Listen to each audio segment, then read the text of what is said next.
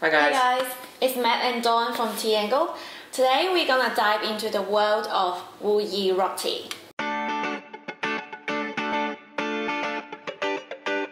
So what is Wu Yi rock tea? Well, it's a type of oolong tea from the Wu Yi mountain region in northern Fujian in China.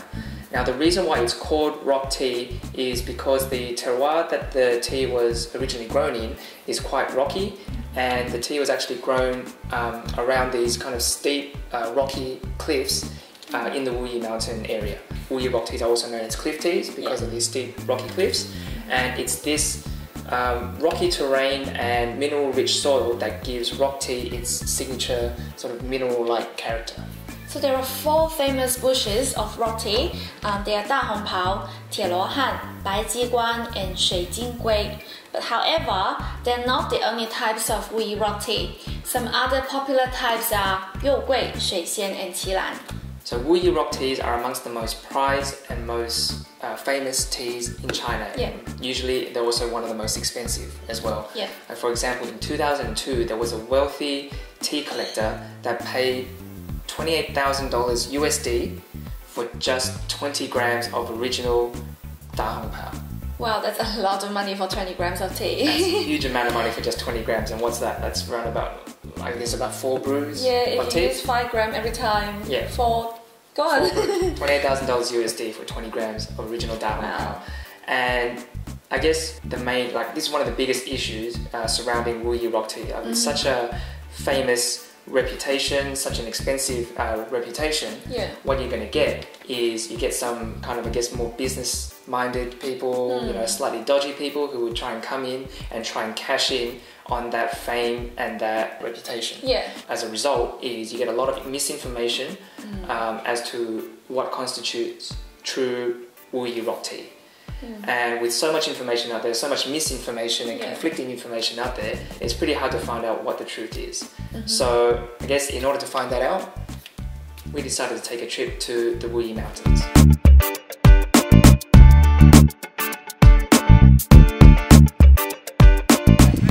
The rock tea in this plantation only gets picked once a year uh, in springtime. That's when they get the best uh, tea leaves. And the rest of the year, what they do is, uh, you know, they have farmers come through and just prune, um, prune all the plants just to make sure it's uh, like kept at a manageable size. And all the tea leaves then get thrown back onto the ground to sort of fertilize and give it back to the earth. So it's kind of a good cycle and uh, it's quite poetic actually. So being here in the Wu Yi Mountains, big difference in air quality. Like the air here is so much clearer and cleaner than in the cities, and it's not that high either. It's about what's about 200 meters? 200 meters above sea level, but already it's a massive difference in air quality. Like really fresh air, and as you can see, there's also a lot of kind of mist around as well, which is really good for tea leaves, growing tea leaves. Uh, we're here in the Wuyishan National Park, where we're now walking up to go see the uh, the original Da Hong Pao trees, Mother tree. the mother trees. So as we walk up this path, we're going to be seeing a whole bunch of different types of rock teas. All of them leading up to the uh, main mother tree, the main Da Hong Pao mother trees.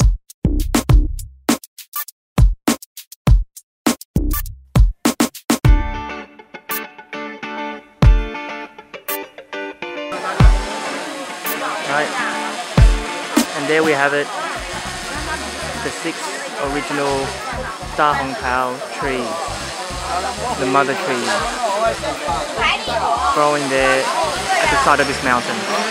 And there's a little drone. One of the problems that we see is that you have tea vendors that will claim to sell zhengyan or true rock teas at prices that seem almost too good to be true. Now, what do we mean by true rock tea? Well, let us explain. Let's take a look at this map here. This is Wuyishan City. Rock teas produced within this region are called Wuyi Rock Tea. This highlighted area is the Wuyi Mountain Scenic Area. This point here is where the Da Hong Pao mother trees are. Now, where we've highlighted, all teas grown within this area are considered Zhengyan or true rock. It is the core and center of the Wuyi Mountains scenic area. On the edge of the scenic area and along the Nine Bend River, where the soils are usually a reddish color, teas grown here are known as banyan or half rock. Now, tea grown outside of the Zhengyan and Banyan areas, but still within the overall Wuyishan region, are known as Zhoucha. The soil color of these areas are usually more yellow and is the area where most Wuyi rock teas are produced. Rock teas that are produced outside of the Wuyishan region are called Waishan and are not classified as Wuyi tea.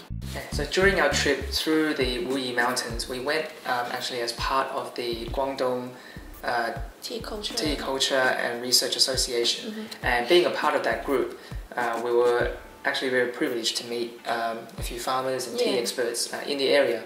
And what they explained to us, they explained to us some of the uh, kind of, I guess, more dodgy sort of practices Yeah. uh, of some people who sell, um, who, who, try to sell Wuyi rock teas. And they explained to us two main situations. Yeah. Uh, you have situation one where you have outsiders, uh, tea producers from outside, uh, or tea vendors from outside. They come into Wuyi Mountain, uh, to the Wuyi Shan area, Mm-hmm. Yeah. set up a base, and then on sell their tea as Wuyi rock tea. Mm.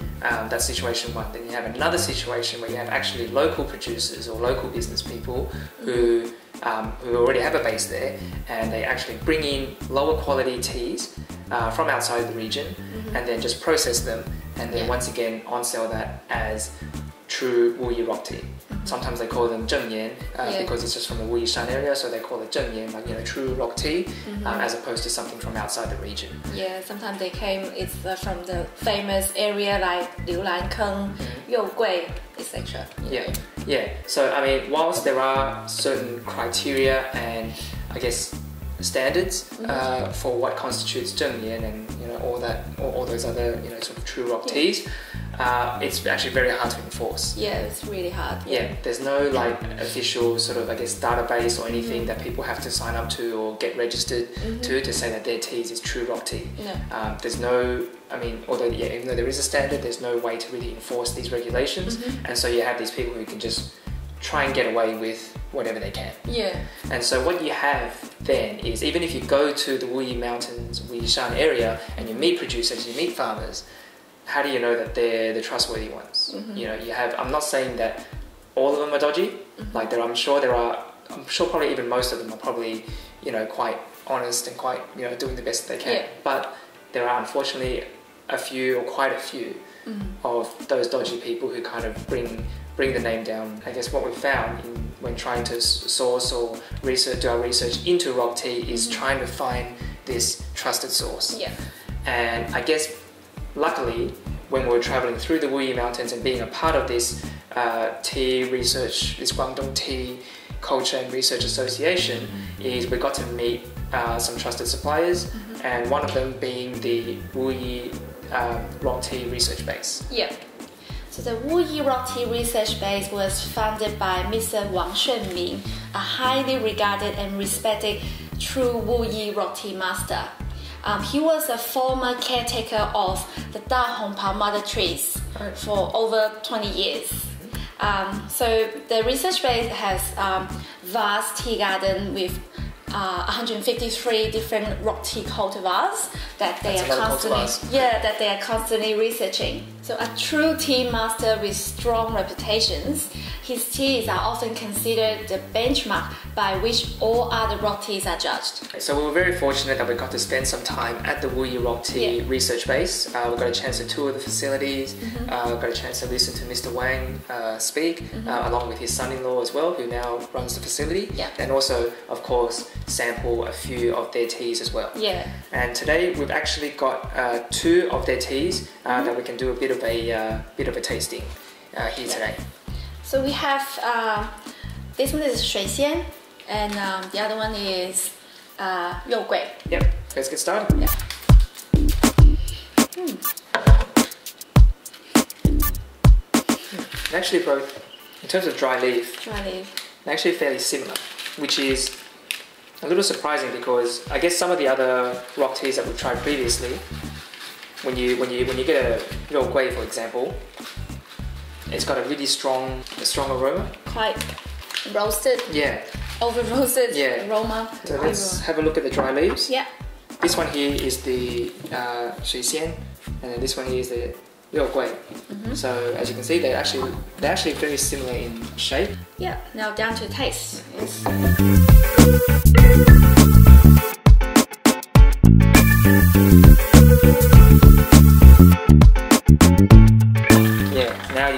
a bit of a difference. The gui is definitely a darker and a darker color. It's got a quite a shiny. So as you can see, the two there. There's a shui xian, and then there's a gui. yeah. Definitely lighter color, shui xian, darker color, liu gui. Yeah. And when you smell, when you smell the lead, shui xian is more um, aromatic, well, it's the yolk gui here. It's, mm, you can smell a little bit like spice. It's a spicy. Yeah. Yeah. yeah. Yeah, that's definitely. It's got a bit of a. It has a bit slight floral Mm-hmm. note to it. There's a there's that roast. There's that signature sort of roasted character that I guess a lot of rock teas have. Yeah. Oh, this one's definitely spicy. Yeah. Yeah. The yolk way is definitely spicier. They're actually quite different. Both still have that, that roasted kind of character to it. Yeah. Um, and the teas at the Wu Yi Rock Tea Research Base, their teas, all of them are charcoal roasted as well in the traditional uh, sort of ways. Yeah.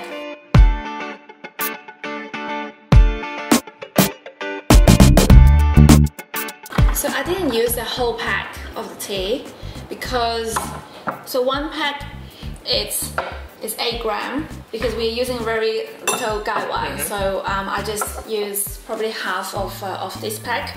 While we taste the tea in the research base or in in that area in Wuyishan area. People, uh, they just use a whole pack of tea. They Yeah. drink, they like their tea really, really strong. I like it super strong. Super Um, strong. and with a little guy one like this, you know, what are we using? About four grams or so? Yeah. Yeah, that's more than enough because these teas can be quite strong. Yeah, it's already a lot of teas here, as you Yeah. can see. So looking at the wet leaves, once again, they actually look pretty. They're pretty similar, Mm-hmm. but the aroma coming out of it, it's completely different. Yeah. Yeah. Okay. Uh, So let's uh, give it a shot. Let's try the xian. Yeah.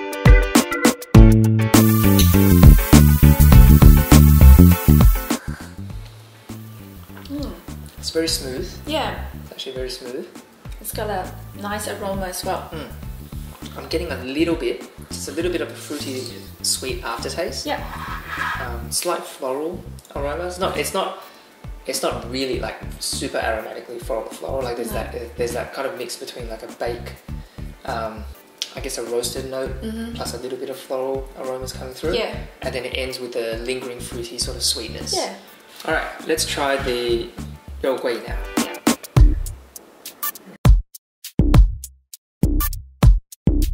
So surprisingly, despite Gui being a stronger kind of rock tea, this one is not, you know, super overpowering. Not overpowering. No. It's got a very nice balance with um, a strong roasted note and the sweetness note as well. Mm. Yeah, and it's not overly spicy as well. No. Um, like a lot of some other ones that we've tried before, like it has this like kind of really, I guess, almost sharp, kind Yeah. of spicy, Not Um, pleasant yeah, like at all. I guess sensation at the back of the tongue. You know, but this one, you know, I guess almost Mm-hmm. Maybe like a, people like a think that it's oh because it's cinnamon because you're great. they Yeah. translate straight to English as cinnamon, Mm. but it's actually it's not that that's that obvious. Yeah. There is a little bit, but yeah. it shouldn't be like overpowering, very yeah. really strong, mm. like cinnamon yeah. taste. It shouldn't be. That shouldn't be the main flavor that you get. No. You know, it's meant to be balanced in between. You know, some of the other sort of I guess roasted notes, even a more floral kind of note. Yeah. Because uh, I think like a lot of the you know tea producers. Um, in Wuyishan or even the research base itself, they say mm. you know, mm. the mark of a good rock tea is its uh, what is it? 花香 yeah. means rock bones and floral notes. Yeah. So this rock bone is like, like Matt said before, it's like a rocky mineral Yeah. characteristic Yeah. and plus a floral note. Yeah. So when you get that in your rock tea, then you know that you've got something that's you know that's quite of, of quite good quality. Yeah. Yeah. Okay, let's try the second diffusion. Yeah. Let's do another one. Yeah.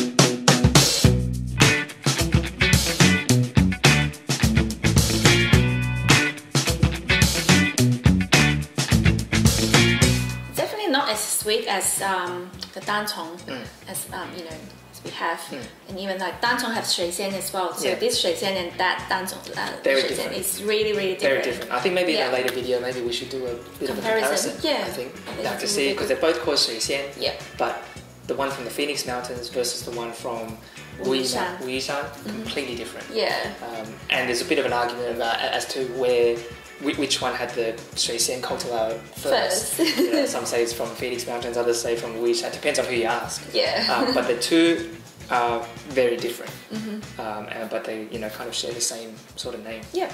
Um, so let's try the Yo Gui Yeah. second infusion.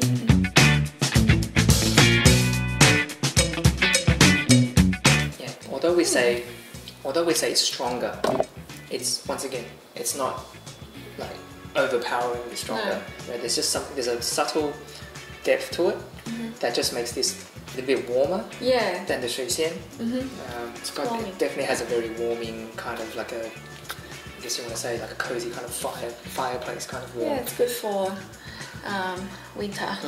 It's It's definitely a tea that you would love to drink in winter. Yeah. So what they normally do is, so with the Wu Yi rock tea, they only have one season. They only pick the tea in May every year. So it's a spring season, spring spring harvest. Mm-hmm. So if anyone tell you the tea, you know, pick in winter, Autumn autumn, yeah. Yeah. So that's not true. They only pick in one season. So what they normally do, they um, pick in May and then process the tea, and they will leave it for a couple of months. So Right. yeah, so a lot of people, a lot of uh, producers, they won't release the tea until end of the year. Okay. So they leave it like about six months or so. So they will release the new tea at the end of the year. Okay, I guess that's to allow the that kind of baked, um, I guess those baked roasted characters to kind of settle down a bit. Yeah. Because I guess one, because being charcoal roasted, Roasted, yeah. um, you get a quite a you know you can potentially get a quite a strong heavy uh, bake in there. Mm-hmm. Yeah. Um, so to let those kind of fires sort of die down a bit, Mm-hmm. settle down in the tea, and then sort of mix in with the tea leaves, and to create something that's really well balanced and complex. Yeah, yeah. Yeah, I think maybe we should just try one more infusion. Yeah, sure. Um, you know, if this is considered the best one, let's give it a shot. Yeah. Third infusion.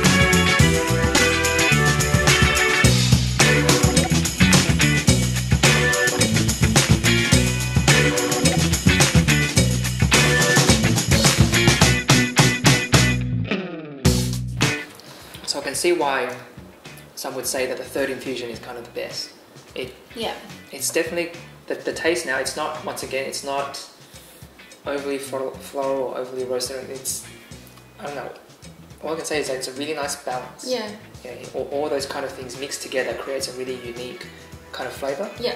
That rock character. The, the, that, again. yeah. Is, is that is, is this what the is this what it is? They often talk about yun in, in the Chinese tea. Um, Hmm. The character, you- I guess, Yeah, yeah. the character of um, the mountain, and in this case, it's the character of the rock. Yeah. Yeah. Yeah, I guess, I mean, I'm definitely getting that through both of these teas. Even though they're vastly, they're, they're quite different in terms of flavor profile, I still get that underlying Yan Yun, that rock character. Yeah.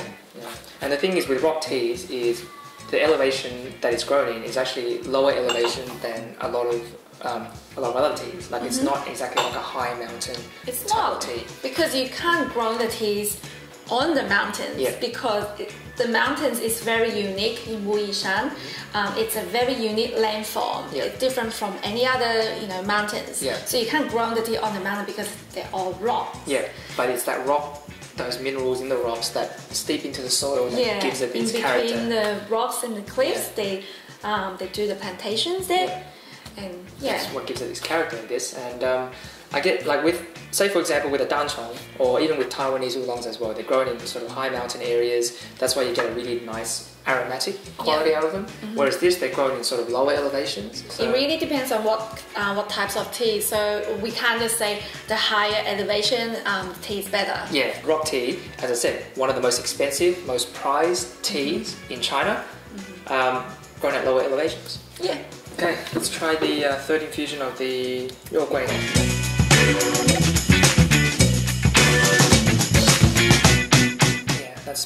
spiciness is definitely mellowed out. And yeah, once again, you can see why a lot of those uh, producers would suggest that the third infusion is is the best one. That's the best. Yeah. Everything's just really well balanced, and you get. I guess you can really clearly taste like it's not all the flavors just meshed together. You get these layers of kind of flavor. Yeah. So there's like You, you can still tell it's it's Yao Gui because it's got a little bit like That spiciness? spiciness Yeah. in the tea and, and mixed with the floral notes. Yep. And a little bit of fruity note as well. Mm. So um, yeah. you, yeah, and you're getting those layers like one by one Mm. as well. Like it, it starts off with there's a bit, there's a sweetness, and then a little bit of a spiciness at the end, Yeah. and then finally you, you, you're left with that, I guess that rock, Yan Yun. yeah, new character as well. Yeah. So Hmm. Okay. To be honest, I'm not a cinnamon person. yeah, I don't like cinnamon. Yeah. I'm sorry. um, so when I first heard about this tea, Yao Gui, I'm like, uh, Yao Gui, yeah, cinnamon, nah. nah, maybe not for me. Not you gonna can, try you it. can try it. yeah, but I mean, and I mean to be honest, there was some other ones that we tried whilst we were traveling through the Wuyi Mountains as well. Um, like not just beforehand, like through the Wuyi Mountains, like there's plenty of tea houses everywhere. We went to a few of them.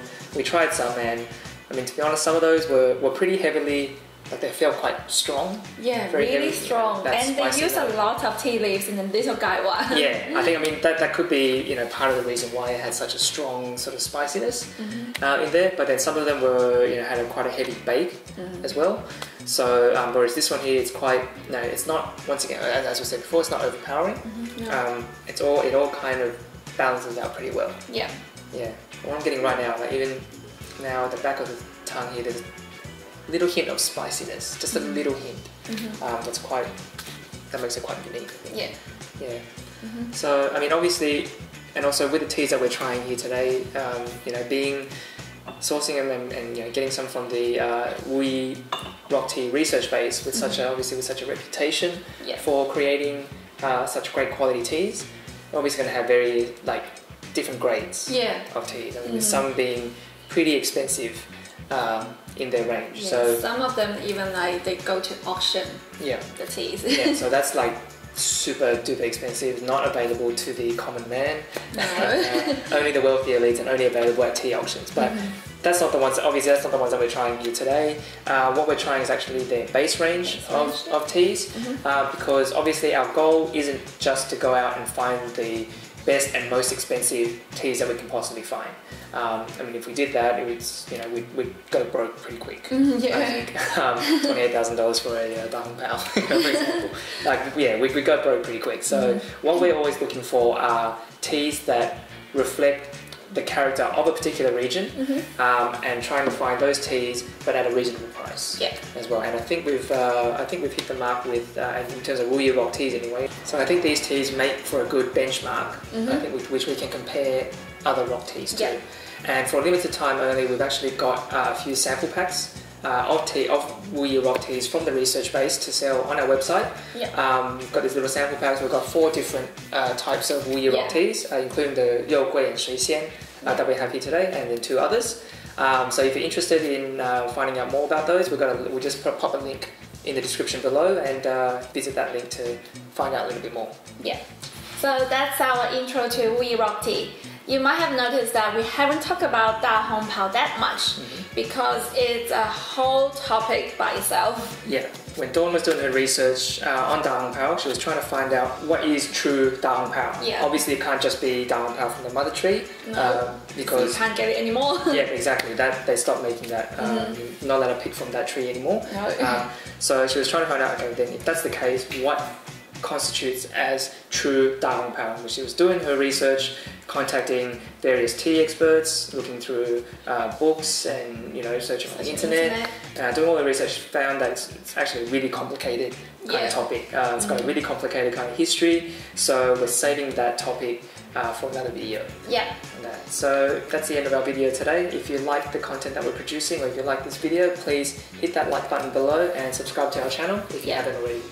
Uh, we have a lot more tea content lined up for you guys, so please keep an eye out. But until then, Bye for now. see you guys.